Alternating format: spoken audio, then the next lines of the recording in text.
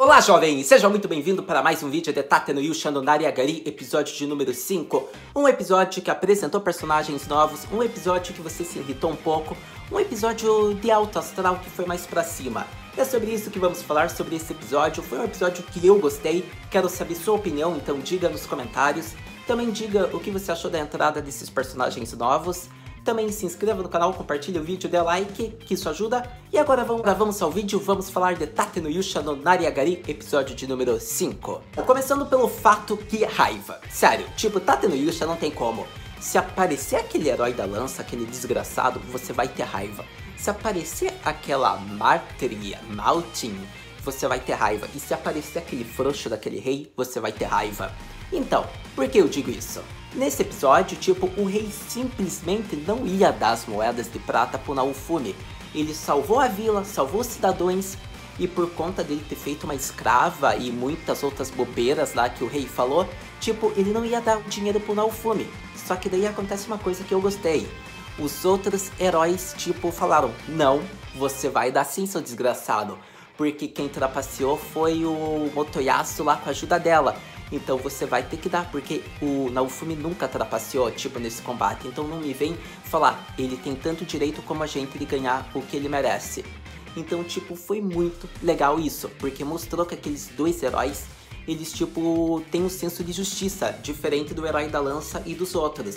Porque se você for ver, já tem uma injustiça aí. Aquele herói da lança, ele é o que mais recebe, e os outros dois não recebem a mesma quantidade de moedas que ele porque eles alegam que o herói da lança, tipo, conseguiu matar mais criaturas. O que acontece é que ele não esperava que os garotos iam falar isso. Tipo, o rei não, nunca ia esperar que eles iam defender o Tate Yusha.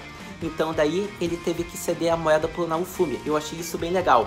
Tipo, o Naofumi ia, tipo, acabar com o rei, eu acho. Ele ia discutir. Só que daí a Raftalia falou, uh, tipo, parou na bola. E daí eles foram e saíram de lá. Então foi essa parte mais de raiva do episódio, na minha opinião mas ainda tem uma outra parte que ao longo do vídeo eu falo. Agora vamos falar de uma coisa bem legal que aconteceu. A Raftalia quis voltar a ser escrava do Naofumi, isso mesmo. Tipo, não bastava só as palavras dela, ela queria fazer o contrato, o acordo de volta. Tanto que o episódio mostrou isso, e eu admito, eu achei legal. Porque não tem como, eu não sei porquê, mas eu achei legal, eu achei que, tipo, é uma prova, tipo, bem de lealdade. Então, tipo, ver que ela quis, mesmo no filme falando que não precisava, foi legal de ver ela fazer isso. Então daí eles foram lá naquele, naquela tenda, ou naquele negócio daquele cara lá que comercializa escravos, aquele mercador, digamos em modos. E daí ele fez o contrato de volta e a Araftalia voltou a ser escrava do Naofumi. O que acontece é que ali tem umas cenas engraçadas que eu não vou comentar. Eu acho que se você viu o episódio, você riu, ou se você não viu, você vai ver porque você vai gostar mas foi uma cena bem engraçadinha. O que acontece é que a cena mais importante que eu vou ressaltar dessa parte é um ovo. Isso mesmo, é um ovo tipo que o mercador falou pro Naofumi. Compre, são só 20 moedas. Pode ser que você ganhe um dragão, porque é ovo de pássaro e com o tempo pode ser que ele se transforme em um dragão, ou com sorte já seja um dragão. Então compre. E daí acontece que o Naofumi cedeu e comprou. Mas como a Raftalia falou, não abra a carteira, não gaste tanto. Só que o Naofumi falou, ele disse que ele tá fazendo isso por ela, para fazer um modo de ataque melhor para ela e para ele, até de certo modo. Porque usando tipo um animal, tipo no ataque também, pode ser que ajude a Araftalha tipo a combater mais criaturas. Além de que vai ajudar ela bastante, porque o Naofumi só pode defender, ele não pode atacar. Então eu achei legal essa parte. E daí o que acontece é que essa cena em si eu vou falar. Ele falou, ah, então isso é um gacha? Eu não sei bem como é que se pronuncia, mas eu acho que quem viu o episódio entendeu. Porque no Japão, tipo, é muito popular esses negocinho de gacha. É tipo, você coloca um dinheirinho e você pega um negócio. Tipo, é bem aquele ovo e você ganha o um negócio de dentro. É bem famoso, é super popular lá. Tipo, tem um monte de bonequinho assim de anime. Quem é o taco mesmo já deve ter ouvido falar ou pelo menos já viu esse negócio. Porque é muito famoso no Japão isso. O que acontece é que o Nofumi falou disso. E daí a Arafitali perguntou, o quê? E daí ele falou nada porque tipo o ovo seria como se fosse isso. Então ficou bem legal essa parte. O que acontece é que daí ao longo do episódio a gente vai vendo que vai passando o dia ali, eles vão upando, eles vão se alimentando, eles vão tipo ficando em hospedarias, eu acho. Só que antes de eu falar o que acontece, porque o ovo, digamos que vai nascer não foi uma boa palavra essa, mas tipo, o animalzinho vai chocar, ele vai sair do ovo. Antes de eu falar o que vai acontecer disso, eu tenho que falar de uma coisa que apareceu no começo do episódio e ao longo do episódio foi passando que são personagens que eu acho que vão ter sua importância na obra. Então vamos falar disso antes, ou melhor, vamos falar agora. Então, se você viu o episódio, você viu já do começo que apareceu meio que parecia uma personagem tipo da realeza. Ela parecia ser tão poderosa quanto o rei, ela tinha servos ao lado dela, ela tinha espiões, ou ela é da nobreza, ou eu até diria que ela é a rainha. Sério, eu não tenho desconfiança, eu posso dizer isso. Por quê? Porque ela perguntou: Ah, então o rei e a Maltiri estão fazendo isso com o Tate no Yusha? Continue vigiando e, se for preciso, interfira por mim. Então, ela é muito parecida. Pode ser que ela seja a mãe da garota. Eu desconfio que seja isso, porque é muito idêntica. E ela, por parecer ser uma figura da realeza e o local onde ela estava parecia ser uma antiga capital, um reino destruído, dá indícios que pode ser. É só minha opinião, não sei a de vocês mas eu acho que ela pode ser a mãe. Vamos saber ao longo dos episódios. O que acontece que ela mandou espiões ficarem de olho no Tateno Yusha caso precise ajudar ele. E o que acontece é que foi uma grande ajuda. Porque quem viu o episódio viu que, tipo, essas espiãs, elas têm, tipo, elas têm um monte de dados sobre o Naofumi e a Raftalha. Elas sabem a afinidade deles, que tipo de magia eles são bons em usar. E, tipo, ficam vigiando para caso alguém faça uma injustiça contra o Tate no Yusha, elas vão estar tá lá e vão defender. E essas personagens em questão, a Malteri, ela não consegue, tipo, desobedecer. Por quê? Porque pelo que deu a entender, a personagem em questão mostrou um percaminho que devia ser daquela personagem que eu falei, que parece ser a mãe dela, e daí ela não pôde passar por cima. Então, que personagem será que é essa e qual a importância dela? A gente vai ter que descobrir assistindo. Mas então, tendo falado dessa parte, vamos voltar a falar agora do ovo lá, do pássaro que saiu dele.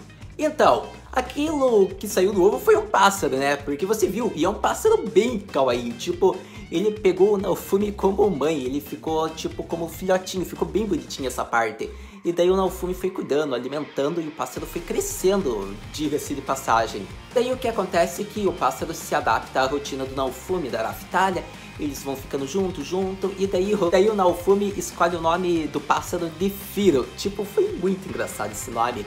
E também mostra que, de certo modo, eu acertei no que tinha falado, porque o nome do episódio 5 era Firo e era um personagem novo. O que acontece é que daí o Tateru Yusha foi daí com esse pássaro e com a Raftalha lá para aquele local onde eles se enfrentaram às ondas, aquele vilarejo que eles protegeram. E daí estando lá, eles veem que tá tendo, digamos que, como eu posso dizer, uma bagunça, seria um termo. Há muitas pessoas em volta, tá tendo um manifesto, se diga. E daí o que acontece é que ele vê que quem? É o herói da lança e lá a fiel escudeira dele, a Maltri. O que acontece é que eles foram lá falar. Eles foram lá falar que aquele reino agora está sob proteção do herói da lança, porque é uma ordem da realeza, do rei e tudo. E daí acontece que, de certo modo, eles estavam, tipo, querendo roubar o dinheiro da vila ali do povo, porque 50 moedas de prata para sair 50 moedas para entrar é tipo querer roubar todo o dinheiro, assim as pessoas não iam conseguir sobreviver. Tanto que o Naofumi foi lá e daí defendeu o povo. Tipo, foi bem aqueles personagens de. Como eu posso dizer? Meio que Robin, Robin Hood. Eu não sei a pronúncia, que tipo defende os pobres contra a riqueza do reino. Então, tipo, foi muito legal essa parte, porque daí ele defendeu e acabou que daí apareceu aquelas personagens lá com aquele percaminho, que foi o que eu falei, e tudo resultou na corrida de pássaro, ou se você quiser falar corrida de cavalo, ou corrida de dragão. Porque daí a garota lá falou, então, Tate Yusha, eu desafio você para uma corrida. Se você ganhar, o reino está livre, mas se ganhar, daí acho que daí ficaria com eles. O que acontece mas acontece que o Tate Yusha aceitou o desafio e ele aceitou, tipo, obrigatoriamente, porque o povo pediu, falou que ia dar uma recompensa, tudo. Então acontece que não adianta, não, o Fumi é muito bonzinho, ele aceitou. Ele só falou que se ele perdesse, não culpassem ele. E daí a corrida foi tipo o que você viu, aconteceu injustiças, mas o Naofumi conseguiu passar por cima e ganhou.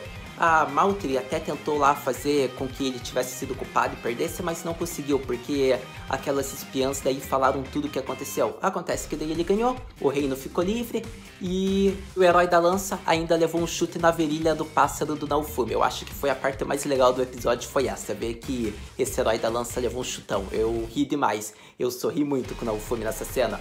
Tanto que foi uma cena legal que a Raftalha mesmo falou, ela tipo nunca tinha visto o sorriso dele assim, tipo, tá mostrando que agora o Naofumi até tá se divertindo desse reino, então ficou bem legal essa parte. Mas então foi mais isso o episódio, eu acho, porque foi um episódio bem simples, foi um episódio que teve bastante coisa. Teve personagens novos, teve injustiça, como vem tendo, só que o Naofumi passou por cima, teve senso de justiça, teve pessoas que protegeram ele de certa maneira. E também teve cena legal que foi o Naofumi agradecendo, tipo lá aquela mulher lá que deu um grimório para ele que um Grimório, tipo, é um livro de magia e que você recita. O que acontece é que ele ainda não sabe ler a língua daquele mundo, então ele ainda vai ter que aprender, tanto ele como a Raftária, para eles conjugarem as magias que tá naquele livro. Então foi mais isso o episódio, mas foi importante, eu gostei e ainda teve uma cena no final que foi muito legal. O pássaro virou uma loli. Isso mesmo que você ouviu. Eu não sei como é que virou uma loli. Sério, tipo, o pássaro, como é que me vira Maruri? Tipo, ficou legal. Eu não vou reclamar, ficou legal essa cena.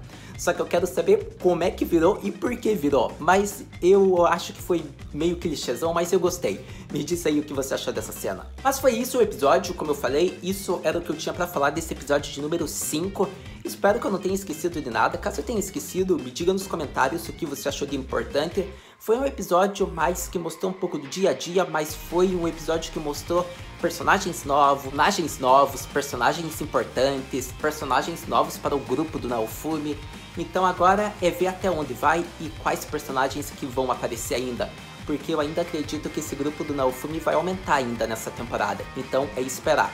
Mas no próximo episódio vamos ter que esperar, vamos ver o que vai ser. Será que vai aparecer mais heróis? Será que vai aparecer aqueles outros dois heróis dessa vez? Ou será que não? Será que vão explicar mais dessa personagem pássaro que é do grupo do Naofumi agora? E será que o próximo episódio até não vai ser a onda? Vai que eles fazem uma passagem de tempo? Segundo o episódio, faltava mais de um mês para mais uma onda. Então eu desconfio que o próximo episódio deve ser eles tentando recitar as magias daquele Grimório. Talvez que essa garota que Talvez a Firo saiba ler o livro, e daí talvez ela ensina na Ufumi a pode ser que seja isso, pode ser que ela seja uma personagem que sabe ler essa língua, mas isso a gente vai ter que esperar para saber e para falar. Então agora é esperar o próximo episódio. Muito obrigado se você viu esse vídeo até agora. Compartilhe com um amigo, com uma amiga, dá like, se inscreve no canal, diz aí nos comentários o que você espera pro próximo episódio. Muito obrigado, a gente se vê no próximo vídeo. Mata, né?